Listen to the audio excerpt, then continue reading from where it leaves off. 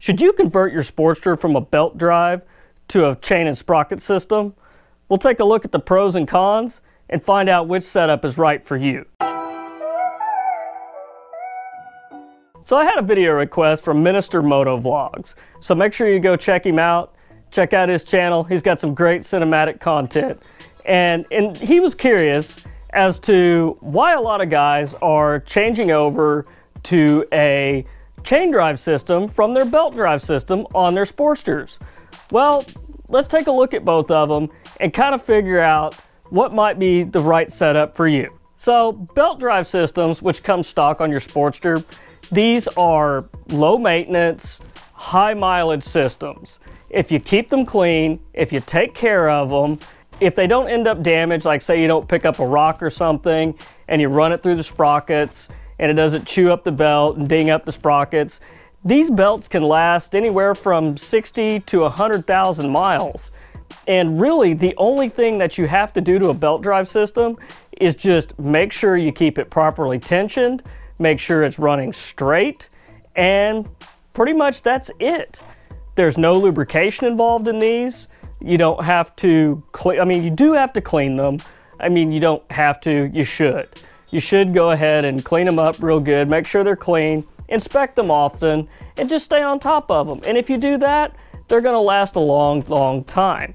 Now, there is some downsides to the belt as with any drive system. They do tend to lose a little more horsepower between the transmission and the rear wheel. They lose that horsepower about the tune of 10 to 15% loss. And that's quite a bit compared to a chain. But the trade-off is long life and low maintenance for the belt drive system. Now, they're not as strong as the chain, so if you're going with a really high horsepower build, if you're doing any kind of like wheelies or stunt riding with your Sportster, uh, you might want to lean towards a chain because, you know, eh, belts, they'll do it, but for how long? And it's such an important part of the motorcycle. I mean, you lose the belt, you shred it, you're dead in the water, you're done, you got to call a tow truck. There is no way to rig that to get home.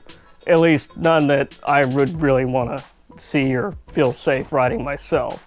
And the other good thing is with a belt too, and with a belt, if a belt were to break at high speed or something, uh, less likely it's gonna tear you up as bad. Hopefully it'll just chuck out and go right out the back end and not lock the rear wheel up. Also, belts compared to the chain, the belt runs a lot smoother and a lot quieter than the chain. Now, this Harley is my first motorcycle I've ever owned that actually had a belt drive on it. So the chain, I never really noticed the noise. It never really bothered me and I never really noticed the difference. Now belts can be quite expensive to replace, especially if you end up replacing your pulleys along with your belt. They can be quite costly, but you have to think about the longevity that you're getting out of them at the same time.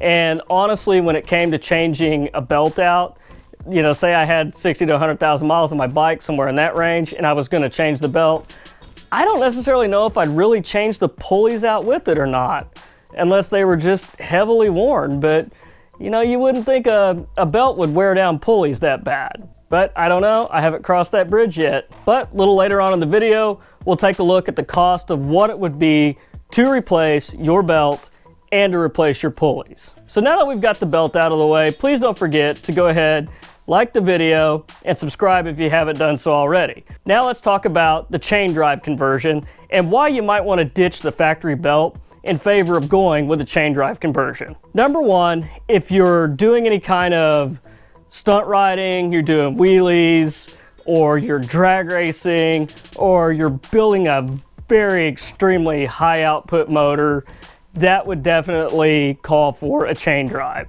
The obvious is the chain is stronger than the belt drive. The belt drive can seriously be a weak link when compared to a chain. Now, chain drives do not last as long, depending on how you ride, what you're doing with it, and also the materials you use. You could probably expect to get 15,000 miles, maybe more, maybe less, out of a chain drive. And that is also dependent on what kind of sprockets you use. If you're going with steel sprockets or aluminum sprockets. Obviously the steel, the steel sprockets are gonna last a little longer than the aluminum. And also depending on the quality of chain you, you're using as well. Now the chain drive is gonna require more maintenance than the belt. You're not gonna be able to just kind of forget about it. You gotta check them often, you gotta clean them more often, and you're gonna have to adjust them more often as well. Now the chain, like I said earlier, it is a little noisier than the belt drive, but that's not really a big issue, honestly. I mean, for me anyhow, some guys might find it as an issue. It's not like you're gonna be able to hear it over your pipes anyhow. But the chain, it also, it puts more power to the ground. There's less loss between the transmission and the rear wheel, only about probably one to 4%. So you're getting more power to the ground with the chain. And like I said, if you're drag racing or if you're doing any stunts, uh, re-gearing is going to be a lot easier and a lot cheaper because you're going to have so many more different options for sprockets out there, especially front and rear. And you can go up however many teeth you want. You can go down however many teeth you want. Maybe you're somebody that still rides on the street, but you go out and do some parking lot stunning or you do a little racing. You'd be able to re-gear your motorcycle for whatever you're wanting to do that day. If you're going to run some highways, you could drop some teeth down on the back, or if you're gonna go out and do some wheelies, you could go ahead and put a bigger one on the back, go up several teeth. It's a lot quicker and easier to buy those and a lot cheaper as well than it is to purchase a pulley. And we're gonna look at that here in a little bit. Chain and sprockets, they don't last as long, but they're a lot more cost effective to replace when compared to the belt and the pulley system. Let's go take a look at what it would cost to actually replace your belt and your pulleys. Okay, so just for reference, I'm gonna use a factory microfiche here. This will kind of give you an idea of what the cost of a belt and pulleys for your Sportster would be should you have to go to replace them. Now, of course, you can get these cheaper on the aftermarket, but for reference, we're gonna use the OEM parts here. Now, number 16, the rear sprocket here. To replace this guy, it's gonna run you $190, $190.49 just for the rear sprocket. Now number 17 being the front sprocket, $57.99. This is if you went down to your local dealer and you ordered this guy. Now just a belt itself, $193.49. That's just for the belt. That's the OEM belt. And if you were to buy all these parts together without tax or labor included, if you weren't doing it yourself, we're looking at $441.97.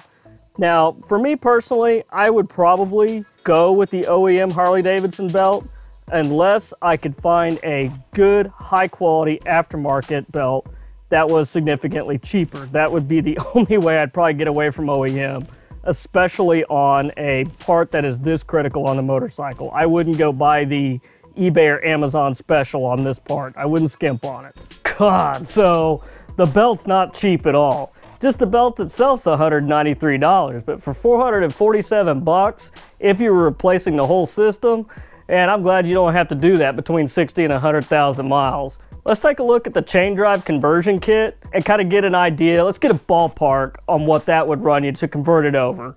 And of course, you know, just replacing the chain and sprockets would probably be a little less. But let's go take a look at that right now. Okay, so here we have some examples of a chain drive conversion kit for the Sportster. Now, of course, they're going to vary by years, but this will kind of give you an idea of the price range. Looks like we're they start out, you know, with a chain right at about 200 bucks a couple of them down here that actually don't have a chain with them that are a little more expensive. But if you're gonna do this, I would highly recommend buying the best one that you could find. I mean, this is a critical part.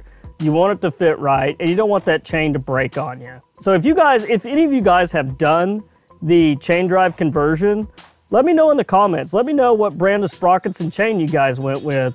Some of these, I mean, we're looking at about 150 bucks. So it's critical to get a good part. Absolutely critical to get a good part when it comes to this. Because this is such an important part of your motorcycle, you do not want this thing to snap on you. If I were you, I'd probably stay away from the Amazon or eBay specials when it comes to the chain drive kit. So the chain drive is significantly cheaper than the belt but it is going to require more maintenance and it is going to require you to replace it more often than it would be on the belt. Now, there aren't any indexing marks for alignment on the Sportster swing arms. So what you're going to have to do is you're going to have to rely on either measuring it out yourself from a fixed point on the motorcycle to the axle, or there are a couple of tools out there that are really helpful for making sure you have your belt straight or your chain straight. Now for the belt, a belt tension gauge. These things are great. A lot of guys can tension them by feel. I can kind of tension them by feel, but I always check it just to make sure that it's correct. Because with the belt, tension is very, very important. And if you're running the factory belt, one of the main, one of the best places to reference the information on the factory belt is right here in the owner's manual. You will find everything you need right here on how to properly tension and maintain your belt. Now, for chain drives, since they don't have indexing marks and it is critical for proper alignment on a belt or a chain, Motion Pro has some tools that work really, really well. Now, you don't necessarily have to buy this tool right here. I just picked one up from Motion Pro. It's nothing but a little piece of wire with a little indicator on it. I measure, I still, I use this to check, make sure my wheel alignment's correct when I'm adjusting my belt. But I also still, I check it with this, I measure it with a tape measure, just to make sure everything's spot on. Because like I say, there's no indexing marks on these bikes to tell you where your alignment's at.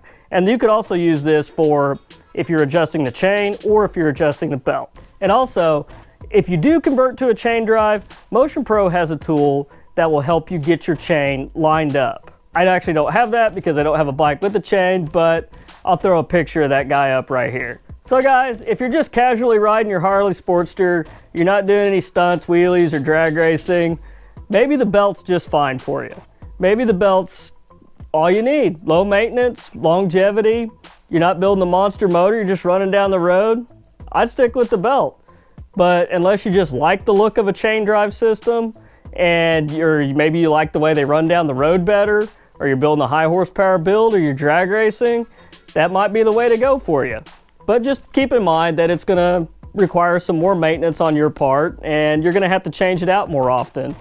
But as with anything, just make sure you stay on top of your drive systems and stay safe out there on the streets. Don't forget to like and subscribe, guys.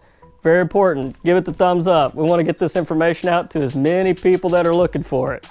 Well, I appreciate you guys watching and stay safe out there. Hopefully this virus thing is going to go away soon so we can all get back out to our bike nights and our meetups. But anyhow, guys, be safe on the streets. I'll catch you guys next week. Thank you for watching.